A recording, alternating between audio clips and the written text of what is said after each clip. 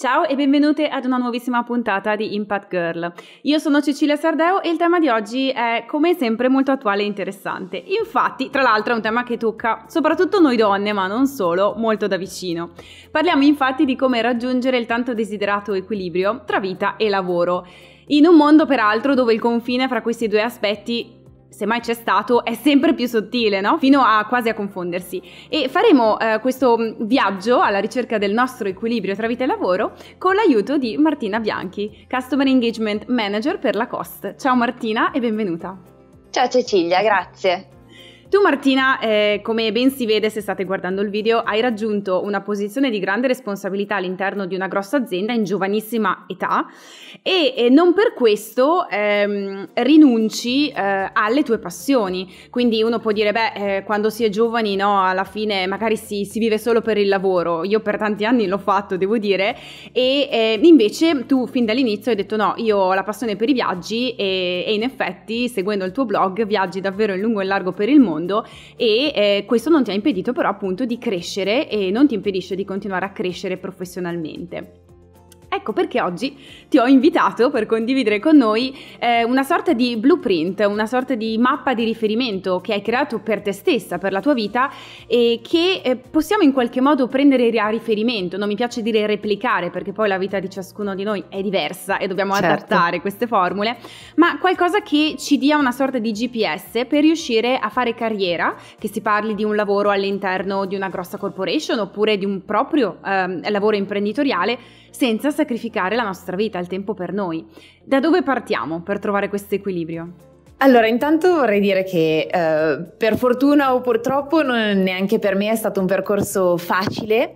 Eh, all'inizio eh, ero molto focalizzata sul lavoro, ho passato cinque lunghi anni in Vodafone dove ero molto molto assorbita dal mio lavoro, dai ritmi, dal fatto di non mollare mai. E poi a un certo punto la vita, eh, una malattia eh, autoimmune che mi ha colpito e che mi ha detto basta, così non puoi andare avanti, non vale la pena di rimetterci la propria salute per, semplicemente per il lavoro. Ti piace lavorare, è una cosa su cui metti il cuore, ma è importante, tu hai un mondo intorno a te e ci sono tantissime cose che mi piacciono fare, tra cui appunto come dicevi viaggiare e io non volevo più rinunciare a quelle cose. E quindi mi sono detta basta, da oggi si cambia strada, ehm, mi sono trasferita a Parigi che è stato un grande cambiamento ed è stato un po' eh, il coraggio di fare questa scelta di cambiare di colpo città, eh, paese, lavoro, industry che mi ha fatto un po' rimettere giustamente come dicevi tu un GPS nella giusta direzione e dire ok com'è che cambio eh, questa cosa. E devo dirti che ehm, ci sono tre cose principalmente che per me sono state importanti in questo cambiamento. La prima è il fermarmi a pensare che cosa è veramente importante per me. Non è scontato, ci vuole del tempo e ci vuole del tempo in continuazione per rifocalizzarsi e per ripensare a davvero che cosa è importante per noi. La seconda cosa è l'organizzazione. Io sono un po' una fissata dell'organizzazione, è una cosa che forse mi viene anche un po' naturale, però senza organizzazione siamo troppo stimolati da tutti i sensi e quindi perdiamo il, il GPS e perdiamo anche il tempo di quello che dobbiamo fare. E la terza cosa, che forse è quella che, che, è stata più difficile, ma che veramente mi ha insegnato, è stato accettare di cadere e non aver paura di rialzarsi e ricominciare a lottare. Bellissimo, questo ci dà sicuramente già tre cartelli eh, che ci danno una direzione. Partiamo dal primo aspetto, quindi il definire un po' quali, che cosa è importante per noi. Forse la cosa in assoluto più difficile perché, perché spesso, mh, almeno quello che è capitato a me, è stato eh, fraintendere quello che era importante per me, eh, sovrapponendolo a quello che era importante per la società intorno a me, cosa ci si aspettava da quello che una ragazza della mia età con il mio titolo di studi e con, eh, non lo so, quelle che erano le mie caratteristiche eh, avrebbe dovuto fare. Quindi c'è qualcosa che fai, visto che dici che tra l'altro lo, lo rifai questo esercizio di rifocalizzazione, perché ovviamente poi anche diverse fasi della vita presumo ab- abbiano poi insomma sempre diverse, eh, diverse priorità, anche se alcune restano sempre invariate. C'è qualcosa che fai per riuscire a trovare quella chiarezza? Sì, allora guarda, mh, è vero che non, non, ci sono ricette magiche, ma non si può pensare che questa chiarezza arrivi da sola. Eh, quando ero bambina speravo che mi venisse l'illuminazione, sono cresciuta e so che così non è. Quindi ci sono alcune piccole cose che faccio. La prima e la più importante è prendere del tempo per sé, nel silenzio, nella calma, per riflettere. È una cosa che io tendevo a non fare, io dicevo di sì a tutto quello che mi veniva proposto eh, e a tutti quelli che avevano bisogno di me in qualche modo, che fosse il mio capo, che fossero i miei genitori o che fossero i miei amici. Invece adesso eh, prendo il tempo di restare a pensare e a focalizzarmi su quello che voglio. Eh, degli esempi molto concreti. Una volta alla settimana la mia pausa pranzo eh, la passo o in un parco, se è la bella stagione, o in un caffè da sola, eh, o in una chiesa in silenzio. Eh, l'unica cosa importante è che per quei 10, 30, 60 minuti il cellulare è offline stacco totalmente eh, modalità aerea e penso a quello che per esempio sono state le cose importanti eh, della mia settimana o del, della mia giornata e che cosa mi ha dato veramente piacere perché quello ti aiuta a ridirigere e a rimettere l'energia su, quella, su quell'aspetto lì. La seconda cosa molto, che mi aiuta molto è parlare. Io ero una persona uh, che faceva molta fatica a parlare dei suoi obiettivi, delle sue cadute, dei, dei suoi problemi semplicemente e invece ho imparato a farlo. Chi mi ha insegnato veramente a farlo è stata una psicologa che mi segue da tre anni e contro cui all'inizio mi, arrivavo, mi arrabbiavo tantissimo perché io parlavo parlavo e lei non mi diceva mai niente, non un consiglio, non un commento, niente. Eh, io dicevo, ma chissà cosa mi serve parlare così e spendere anche dei soldi e mi sono detta lo ripeterò davanti allo specchio. In realtà poi non si prende mai il tempo di farlo eh, e non si fa nella stessa maniera. Quindi parlate, parlate con qualcuno fate un percorso in cui vi sforzate a dire quelle cose che sono difficili per voi, faticose per voi, perché quando si parla con qualcun altro si ha una sorta di specchio davanti a sé. E anche se l'altra persona non ci dice niente e magari non ci dà il consiglio migliore del mondo, ma soltanto il fatto di dire a voce alta certe cose ci aiuta già a fare metà del percorso, a, ad affrontarle e quindi credo che questo sia una cosa molto importante per capire che cosa sono per noi le cose di valore. Bellissimo, quello che hai detto è molto significativo, mi tocca molto da vicino, sia il primo aspetto, quindi la, la riscoperta del silenzio, che è qualcosa che abbiamo dimenticato decisamente, quasi non, la, non lo conosciamo più il silenzio perché è continuamente riempito eh, o da stimoli esterni oppure da qualcosa che cerchiamo noi, perché ehm, non ricordo chi diceva che il, il, dramma più grande dell'uomo è l'incapacità di stare da solo, eh, seduto in, in, una stanza, no, no, davvero non ricordo chi abbia detto questa frase, ma è bellissima, mi ha sempre colpito molto. All'inizio dicevo, ma che diavolo vuol dire? Non ne ho idea. Poi però, ehm, quando ho cominciato a lavorare in un mondo dove come quello digitale, gli stimoli sono incessanti, eh, cioè davvero diventa, diventa, pericoloso, anche perché non, ehm, non ci accorgiamo della, di quell'abitudine automatica a riempire ogni vuoto, eh, che ci impedisce poi di prendere le distanze da quello che stiamo facendo, dal perché lo stiamo facendo. Quindi questo lo trovo tanto semplice quanto vorrei dire forse la, la chiave di volta perché tutto il resto poi abbia un senso e funzioni. La seconda cosa che invece hai nominato del parlare, anche lì mi ci ritrovo tantissimo perché io non parlo molto, sono molto introversa di natura. Figuriamoci poi, ad esempio, ho una sorella che è l'opposto, lei parla, eh, parla molto. Anche io. quindi ecco, quindi è normale, non siamo anomale. Eh, e io ho trovato la risposta in uh, diversi percorsi di coaching che ho fatto, eh, sempre molto business, quindi dietro la scusa del business coach ho trovato anche qualcuno, proprio per non dover in qualche modo ammettere a me stessa che avevo bisogno di parlare con qualcuno, però ecco con, con queste figure parlo anche di tutta una serie di aspetti che sono inevitabilmente legati anche alla mia vita personale, perché le due cose, come abbiamo accennato all'inizio, sono veramente eh, difficili da distinguere nettamente. La seconda cosa che dicevi era invece organizzarsi, giusto? La seconda cosa è organizzarsi perché è vero che anche per trovare questi momenti di silenzio, di pausa, ci vuole l'organizzazione. Eh, cerco di fare yoga una volta alla settimana in pausa pranzo e non sai quante volte hanno provato a mettermi delle riunioni sullo stesso eh, orario a farmelo saltare, a darmi delle urgenze. Quindi se non si è organizzati eh, non si riesce a fare tante di quelle cose e io spesso arrivo alla sera, spesso, per fortuna non spesso, ma ogni tanto arrivo alla sera e dico ma oggi che cosa ho fatto? E mi è volata via la giornata eh, e credo che questo sia, mi succeda proprio in quei giorni in cui mi lascio sopraffare dalle cose. Uh, un um, TED Talk che abbiamo condiviso prima del, del, di questo episodio mi ha molto colpito e faceva un'equazione semplicissima. Ci sono 168 ore in una settimana. Ne dormiamo, se proprio siamo bravi, 56 e ne lavoriamo, se proprio bra- siamo bravi, 50.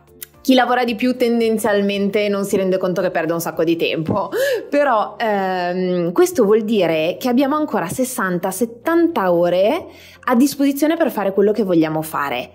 Certo è che se passiamo quelle 60-70 ore a eh, stare su Instagram, a stare su Facebook, a stare stravaccati sul divano, alla fine quello che ci portiamo a casa è poco. Quindi il mio consiglio è pianificate, pianificate tutto, eh, anche quell'ora di silenzio, anche il momento per pianificare la mia settimana è nella mia agenda. È, se, può sembrare un po' troppo costruito, ma in realtà poi la qualità di quelle ore che io ho inserito in agenda è altissima perché mi permette veramente di o stare con gli amici perché sono con gli amici e non cercare di ehm, stare con le persone che non sono lì in quel momento o fare le mie riunioni in maniera efficace al lavoro ehm, o eh, prendere del tempo per me ma godendomi quel momento perché so che è meritato, che è pianificato e quindi che me lo posso permettere. Uh, quindi io faccio questa cosa soprattutto per i viaggi, come eh, potete immaginarvi, uh, faccio un, quello che chiamo il retro planning e uh, mi fisso delle ore per trovare la meta. È una cosa bellissima trovare la meta, però se non è un minimo inquadrato nel tempo, alla fine si rimanda sempre perché non è una di quelle cose urgenti. Ecco, questo secondo me è un punto importante.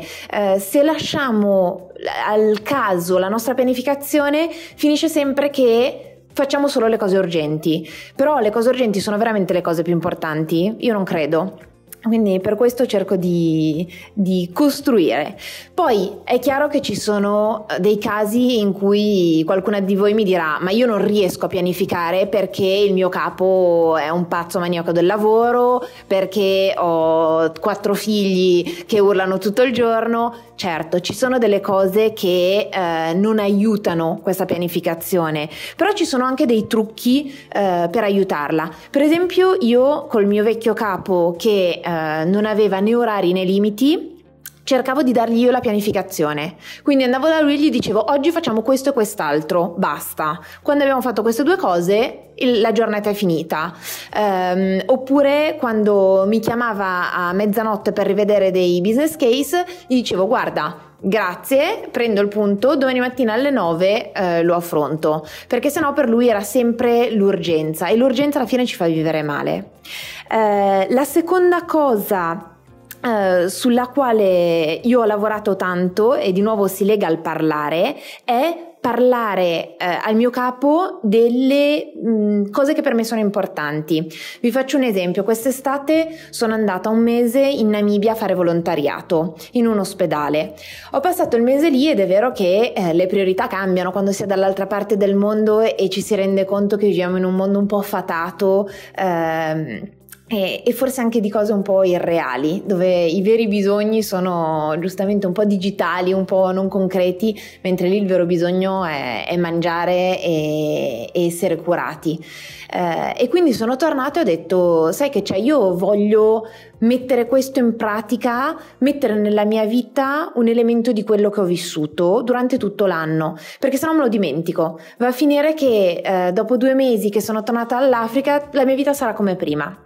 Quindi eh, ho deciso di iniziare a fare del volontariato qui a Parigi dove vivo, ehm, in un ristorante, io sono anche un amante della cucina ehm, e quindi ho deciso di fare volontariato in un ristorante solidale, quindi che dà da mangiare a del, dei senza tetto o delle persone in difficoltà. Eh, è chiaro che essendo un ristorante eh, la cena viene servita alle sette e mezza e quindi per preparare io devo essere lì alle cinque e mezza.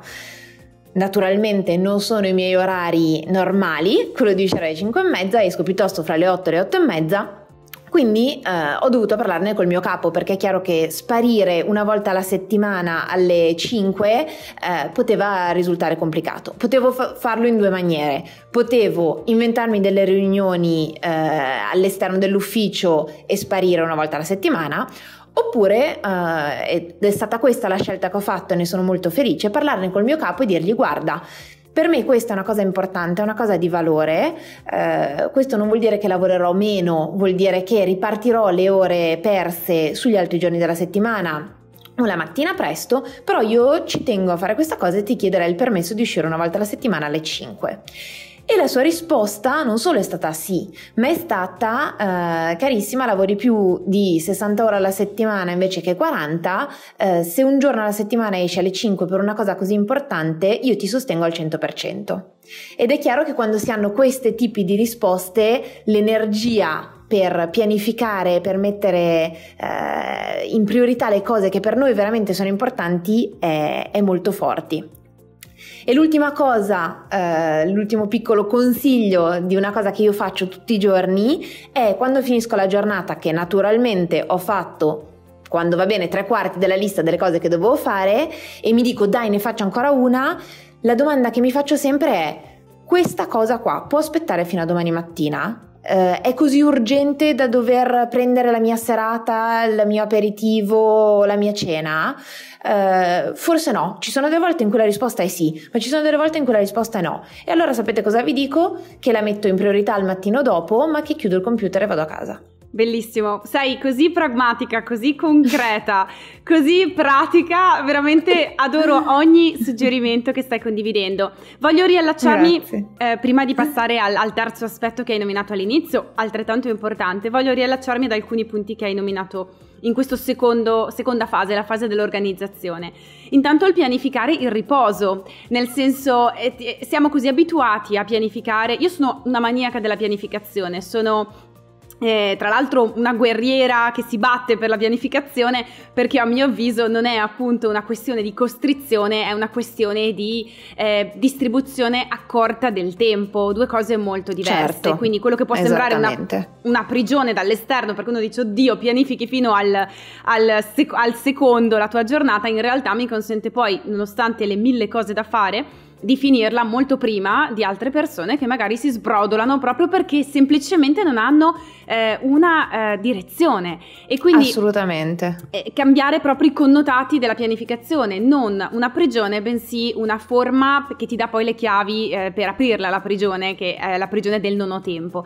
E poi il pianificare appunto il riposo. Questa è una cosa che per esempio su cui io devo migliorare alla grande perché il riposo a breve termine lo pianifico molto bene ho il mio switch off time la la sera, per cui non esiste che mi porto il lavoro fino a orari impensabili, cosa che facevo in passato, però eh, la classica, il classico periodo di vacanza in cui uno dice basta, per tot giorni io non ci sono, tendo sempre a posticiparlo. Un po', eh, questo credo sia anche una dinamica diversa a seconda del tipo di lavoro che fai, un po' perché metto sempre davanti le priorità del team, eh, un po' perché sono comunque sempre on the go, quindi è sempre difficile pianificare in anticipo.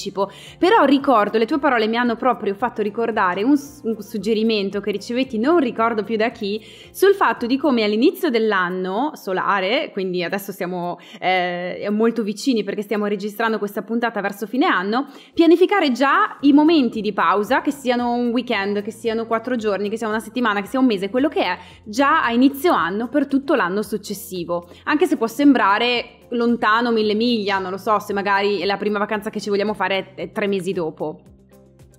Quindi questo credo sia, eh, questo, questo, è un bel promemoria che mi porto a casa e che metto in pratica nella pianificazione di quest'anno. Assolutamente, io faccio, faccio, una cosa proprio a fine anno eh, con eh, un'amica, eh, tutti i, i capodanni facciamo gli obiettivi dell'anno e eh, a giugno facciamo un punto della situazione su questi obiettivi. E sempre uno degli obiettivi è ehm, almeno uno è un, il momento di riposo chiave dell'anno. Quindi che cosa vogliamo fare che cosa sono i nostri sogni? Ehm, perché anche lì è importante che quei momenti siano un recupero un, un ricarica energie perché le nostre energie non sono infinite eh, e alla fine se, se non prendiamo quei momenti rischiamo di di eh, che tutto, come hai detto bene, si sbrodoli, eh, perché proprio ci mancano le nostre energie. Assolutamente, tra l'altro leggevo un libro, adesso non mi giro per... Anzi, l'ho fatto, mi sono girata, vediamo se riesco a recuperarlo. Questo è un libro, uh, non so se l'hai letto, è Deep Work di no. uh, Cal Newport, che sono, sto, sto, facendo probabilmente più pubblicità io a questo libro di quanto non sia stato fatto dal marketing tradizionale, ma perché eh, riporta proprio studi scientifici eh, secondo i quali, a parte appunto che non è nel primo mm, né sarà l'ultimo a parlarne, però lo fa in maniera molto concreta e parla di come questo continuo riempire il tempo che abbiamo attraverso questi input costanti che ci arrivano dall'esterno, ma anche non darci mai un limite, per cui tu hai parlato prima sì. del eh, no, del, del, fare stasera qualcosa giusto per prenderci avanti per domani, no? per prend- giocare d'anticipo. In realtà, eh, senza accorgercene, lo facciamo molto meno bene perché stiamo comunque esaurendo la tanica di energia che va comunque riempita, ha bisogno di un periodo di incubazione, ma eh, miniamo anche le nostre capacità di effettiva concentrazione. Cioè, la cosa che mi ha colpito di più è eh, che lui dice nel momento in cui noi ci abituiamo proprio a non staccare mai e ad avere sempre continuamente questo stimolo che arriva, anche quando finalmente abbiamo un momento, magari eh, non lo so, finalmente ci siamo presi quella benedetta vacanza o finalmente siamo riusciti a dedicare del tempo ininterrotto a qualcosa, alla scrittura di quel libro che pensavamo da anni, non riusciamo a concentrarci perché ormai siamo troppo abituati fisiologicamente a cercare eh, la distrazione e questa cosa mi ha colpito tantissimo. Assolutamente, so che tu pratichi yoga. Sì. Eh, alla fine di ogni sessione di yoga con la nostra prof facciamo il classico rilassamento e ad un certo punto ci dice adesso cercate l'immobilità mentale e fisica. Allora, sulla immobilità fisica siamo tutti bravissimi, ma sull'immobilità mentale io ci ho messo più di un anno ad arrivare a fare 4-5 minuti di immobilità mentale. È una cosa difficilissima, ma credo che quel piccolo esercizio mi abbia aiutato molto poi a giustamente trovare eh, quel vuoto che mi permette di essere concentrata su una sola cosa alla volta. Quindi capisco molto bene e so anche cos'è stata la fatica per me di riuscire a, raggiungerlo perché effettivamente siamo troppo stimolati. Sì, assolutamente. È un allenamento, quindi eh anche sì. lì il mio suggerimento personale, non so se ti ci ritrovi, ma è quello di non abbatterci se non ci riusciamo subito. Um, ah, proviamoci, no, assolutamente. Proviamoci e, e, appunto, come dicevi tu, cioè, ci sono fasi della nostra vita dove magari non dipende da noi la nostra eh, possibilità di gestione del tempo, però anche in quel caso cerchiamo di magari sviluppare una mini forma di pianificazione che non deve essere una pianificazione di eh, tutto, ma di quello che è sotto il nostro controllo. Esatto, è per questo che parlavo dei viaggi perché io ho proprio iniziato facendolo con i viaggi, nel momento in cui lavoravo in maniera eccessiva, sapevo che eh, il weekend e il viaggio erano il mio momento su cui potevo avere il controllo e quello mi ha dato tanta energia, tanta eh, consapevolezza del fatto che potevo farlo e poi sono andata sulle cose più difficili. Tra l'altro, parlando di cose difficili, l'ultimo punto che hai nominato, cioè l'essere autentici e quindi il dire la verità, che non è sempre facile, soprattutto quando eh, ci sentiamo magari in difetto perché stiamo chiedendo qualcosa che ehm, esce un po' da quella che potrebbe essere l'aspettativa eh, del nostro capo, del nostro manager, ehm, del nostro collega, insomma, a seconda di quella che è la, la situazione che stiamo vivendo. Mi è piaciuto molto il fatto eh, di, essere, di aver detto ok, io, io, ci provo e dico la verità, anche perché ehm, credo eh, di poter dire che forse è stata anche quella eh, forma di autenticità che poi eh, ti è tornata indietro, no? Perché poi si avverte. Assolutamente. Assolutamente, eh, io credo che sono una gran fan della verità ad ogni costo, che a volte è molto difficile eh, e a volte ci mette in posizioni scomode, ma come dicevo prima, anche quando parliamo delle nostre difficoltà, dei nostri problemi eh, e ci diciamo chissà come la persona davanti a noi prenderà questa cosa, mi guarderà con pietà, mi guarderà con giudizio, in realtà no, ci rende più umani di fronte agli altri, ci rende più veri e ci rende più anche raggiungibili. Spesso questa, questa costruzione che abbiamo intorno a noi fa, fa una sorta di mura del castello eh, che non permettono agli altri di avvicinarci. E invece eh, una cosa che ho imparato è che tutte le volte che metto sul tavolo una difficoltà, un problema davanti a un'altra persona, invece che allontanarla l'avvicino. Eh, e anzi la persona spesso si sente coinvolta nel mio problema e ha voglia di darmi una mano. Eh, ed è vero che le mani possono essere, possono venire dai punti più disparati e più inaspettati eh, e sono a volte gli aiuti più belli e più veri. Bellissimo, bellissimo questo spunto. Eh, passiamo all'ultimo che eh, forse è anche il più difficile, eh, che si ricollega anche un po' a quello eh, a cui abbiamo appena accennato, il fatto di non abbattersi, di provare e poi riprovare e riprovare, che è accettare di cadere. Esatto, ehm, accettare di cadere per me è stato di nuovo una cosa difficile perché mentre sull'organizzazione un po' ci sono nata eh, e quindi mi prendo il, il, merito solo in parte, accettare di cadere per me è stato difficile. Eh, vi racconto un, un piccolo episodio, eh, io al liceo ero molto brava, tutti 8-9 in un liceo classico difficile di Milano eh, e alla fine però la pressione che mi sono messa addosso è stata eccessiva e quindi durante la maturità eh, è successo di tutto e di più, quindi ho avuto febbre a 39, svenivo durante le prove scritte, mi sono spuntati i denti del giudizio, quindi avevo una faccia che sembrava un pallone, un disastro. E naturalmente per quanto fossi brava non ero sovraumana e quindi le prove scritte del, della mia maturità sono andate maluccio. Quindi io già distrutta, quando sono arrivata a vedere i voti degli iscritti, mi sono totalmente depressa. Eh, con questo apro e chiudo una parentesi, sono uscita dalla maturità con 97, quindi non è che mi hanno dato un calcio nel sedere, però per me è stata una tragedia. E questa tragedia eh, me la sono portata avanti nella scelta dell'università. Quindi ad un certo punto è andata in crisi un po' il mio sistema di certezze e non sapevo più eh, che pesci prendere. E quindi l'estate fra la, la, maturità e l'inizio dell'università non sapevo più che cosa scegliere.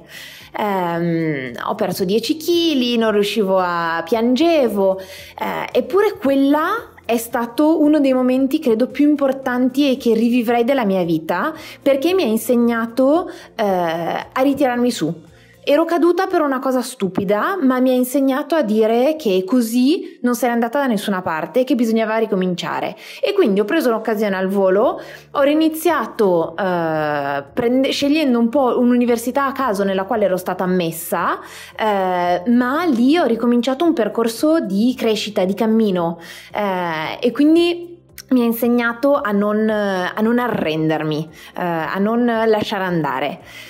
Chiaro ci sono delle cose che hanno aiutato, eh, è stato un po' lì che ho iniziato a, a, dover obbligatoriamente parlare con gli altri delle mie difficoltà, eh, è stato lì che eh, ho ritrovato l'importanza della forza di volontà.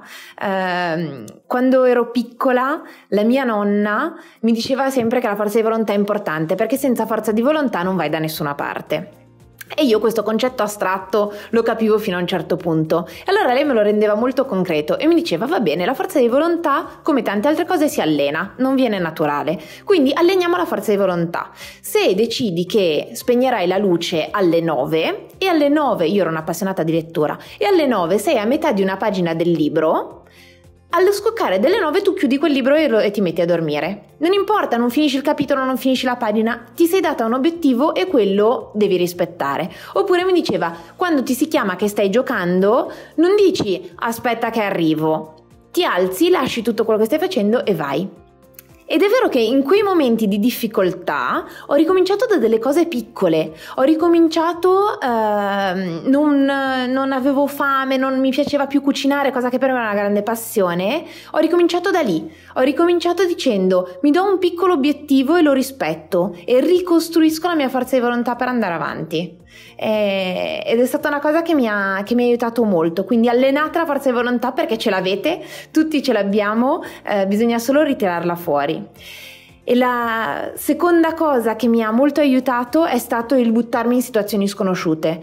Io sono piuttosto timida di natura, eh, anch'io abbastanza introversa, e quindi buttarmi in situazioni sconosciute con gente sconosciuta, eh, per me era, era molto difficile, um, però l'ho fatto, l'ho fatto, l'ho dovuto fare tanto quando sono arrivata a Parigi dove non conoscevo nessuno, eh, dove avevo un lavoro nuovo e qua la vita, lavoro personale sono molto molto separate, quindi non si frequentano i colleghi e ho dovuto buttarmi. Eh, e spesso sono caduta, sono caduta perché mi sono ritrovata delle serate da sola a fare delle cose che magari non mi piacevano, italiano, eh, un po' guardata strana da tutti perché il mio accento francese era molto modesto, eh, eppure mi ci sono buttata con grinta e questo aiuta a, a non avere paura di quella caduta eh, e soprattutto trovare la forza e l'energia per rialzarsi. Mi è piaciuto molto come uh, hai, hai, parlato di partire dal piccolo. Innanzitutto, poi quando cadi, eh, almeno la mia sensazione, la mia esperienza è che è difficilissimo rialzarsi perché la tendenza, io sono un po', non so se tu sei come me, ma o tutto nero o tutto bianco, difficile che sia nel grigio, per cui o sono un drago e tutto e sono una macchina da guerra, oppure se qualcosa all'improvviso mi Mm, mi fa lo sgambetto e faccio molta fatica a non mandare tutto in vacca proprio per usare un'espressione abbastanza diretta e, e lanciare tutto fuori dalla finestra. E, però poi mh, mm, mi ricordo di aver letto questa metafora simpaticissima che si addice molto ai giorni nostri sullo smartphone. Non è che se ti cade il, l'iPhone o quel, la diavoleria che hai comprato da chissà quante centinaia di euro, tutti lo, lo calpesti, no? Ci cominci a saltare sopra, spacchi tutto perché ormai è caduto. Cerchi, lo tiri su, di solito no, col panico dilagante, cerchi di vedere se funziona, se si è rotto qualcosa. Ecco, e magari cominciare a trattare noi come trattiamo il nostro smartphone potrebbe essere un bell'inizio. Assolutamente. E, e poi eh, mi è piaciuto tantissimo eh, appunto il cominciare da una piccola cosa, eh, che forse è veramente la, la, cosa più difficile, però allo stesso tempo, perché ovviamente vorremmo subito già rialzarci ed essere come nuove, cosa che eh, è improbabile avvenga. Però poi tutti gli esempi che hai fatto, il buttarti con grinta nonostante le difficoltà, ehm, mi fa venire in mente proprio l'idea dell'allenamento, cioè lo fai una volta, lo fai due, lo fai tre, lo fai quattro, diventa un pochino più semplice. Io lo, Assolutamente. Eh, l'ho notato proprio nei progetti lavorativi. All'inizio parlare con le persone era difficilissimo per me, tanto che mi dicevo, tanto ho scelto un lavoro dove sono su internet, no? Perché devo parlare con le persone? Sto dietro il mio schermo, faccio le mie cose, lasciatemi in pace. Poi però mi sono resa conto che, eh, a parte che le persone sono la chiave nella nostra vita, le relazioni sono una chiave, è alienante pensare no? di, di, di, escludere queste relazioni eh, convinte no? che, siamo, che non siamo portate per. E quindi ho visto che poi piano piano è diventato non solo più facile, ma finalmente piacevole. Ed è quindi un po' allenare il muscolo del... Um, dell'esplorazione dell'ignoto eh, e dell'agire nonostante la paura. Assolutamente, secondo me è, è, tanto una questione di allenamento e tanto quello che eh, scopri succede quando cadi, nel senso eh, noi abbiamo la tendenza a pensare di sapere esattamente dove vogliamo andare e eh, di come vogliamo arrivarci, però spesso la vita ci dà dei, dei ceffoni eh, e e la cosa bella è scoprire che cosa succede a seguito di quel ceffone. Eh, di nuovo, io quando, quando, mi sono ammalata improvvisamente ho dovuto tagliare a metà le cose che facevo. Eh, non è facile per una persona iperattiva come sono dire ok, da domani invece che eh, fare 10 riunioni e poi mettere insieme un aperitivo, una cena, un dopo cena, eh, le riunioni devono diventare 6 e posso fare una delle tre cose la sera. E questo per me è stato un grosso ceffone dalla vita perché, perché non me ne capacitavo perché mi dicevo ma io posso farle tutte quelle tre cose, l'ho provato sulla mia pelle. Ehm, però che cosa è successo? Che improvvisamente quella cosa che facevo è diventata molto più ricca. Intanto la sceglievo, con molta più accuratezza e poi diventava più ricca, per cui le cene che ho fatto con delle amiche sono diventate delle serate meravigliose che mi ricorderò per tutta la vita, i momenti in cui sono stata a casa a godermi la mia casa, eh, il mio libro, sono stati momenti molto arricchenti, eh, ho ricominciato a leggere, cosa che non facevo più, eh, ho, ho, visto dei film eh, emozionanti che mi hanno arricchito. Eh, E quindi quel, quel ceffone mi ha fatto dire, cavolo, però guarda che cosa c'è dietro a quel ceffone. E credo che sia stato un bel insegnamento. Bellissimo. Se, Martina, se dovessimo ricapitolare a grandi linee i, i, punti del nostro blueprint, della nostra mappa, abbiamo messo tanta carne al fuoco, ma giusto per avere nostra, eh, il nostro strumento da infilare nella cassetta degli attrezzi. Allora, i tre punti. Eh, il primo è fermatevi e capite che cosa è veramente importante per voi. Eh, prendetevi il tempo di rifletterci. Il secondo punto è Organizzatevi, non annegate sotto l'onda di quello che vi succede, non lasciatevi sciacquare via, ma pianificate quello che volete fare. E il terzo, gio- eh, il terzo, suggerimento è accettate quella caduta perché non sapete quale mondo meraviglioso c'è dietro eh, e quindi invece che disperarvi tiratevi su con grinta, rimboccatevi le maniche e ricominciate perché c'è sicuramente una grandissima ricchezza. E se posso aggiungere una piccola cosa che onestamente secondo me è il vero segreto della vita, è sorridete. Anche quando non ne avete voglia, anche quando vi sembra che non ce la farete veramente mai, fate un bel respiro profondo e sorridete. Ho un'amica ehm, che è in sedia a rotelle per la sclerosi multipla ed è completamente paralizzata, eh, può muovere soltanto gli occhi e la bocca e, e parla, parla tanto e dice una cosa molto saggia, che noi agli angoli della bocca abbiamo due elastici e che questi elastici ce la devono tenere su. Quindi nel momento in cui questi elastici si rilasciano e non tengono più bene sugli angoli della bocca, bisogna cambiarli, bisogna ricaricarli. Quindi trovate la vostra ricarica, trovate quello che vi fa cambiare gli, ang- gli elastici agli angoli della bocca, ma tornate a sorridere perché è la chiave del vostro successo. Bellissima, mi hai fatto venire i i, la pelle d'oca con questa, con questa, chiusura bellissima perché poi i nostri migliori insegnanti, mi viene da dire, sono proprio le persone che ci circondano ogni giorno e noi andiamo a, a cercare chissà che cosa a volte. Martina, una domanda a bruciapelo ehm, per concludere. Quale donna pensi dovrei intervistare dopo di te? Allora, ci sono tante donne che, che mi hanno colpito, eh, ma c'è, c'è, una ragazza che si chiama Sania eh, e con cui ho lavorato per un breve periodo e che credo sia davvero una donna che incorpora tanti di questi, di questi valori e che potrebbe essere di grande ispirazione troveremo Sania e la porteremo ad Impact Girl. Io Martina ti ringrazio veramente dal cuore per questo splendido contributo, davvero, è stato mm, bellissimo. Grazie a te Cecilia, grazie. E um, ragazzi, a chi ci ascolta o guarda dal blog, vi ricordo che trovate tutti i punti eh, suddivisi minuto per minuto sotto il video o sotto l'audio, in maniera che potete trovare tutto quello che vi serve al volo. E noi ci vediamo come sempre alla prossima puntata. Ciao a tutte! Questo è tutto per la puntata di oggi. Spero di averti dato qualche utile spunto che potrai implementare sin da subito. Se crescere un business in cui credi sul web in modo autentico e proficuo è parte dei tuoi piani e non sei ancora entrata a Biz Academy, iscriviti alla lista d'attesa per ricevere lo splendido bonus che ho preparato per te e per sapere quando riapriranno le porte della nuova Business Academy italiana tutta al femminile. Puoi farlo senza impegno visitando il sito biz-academy.it.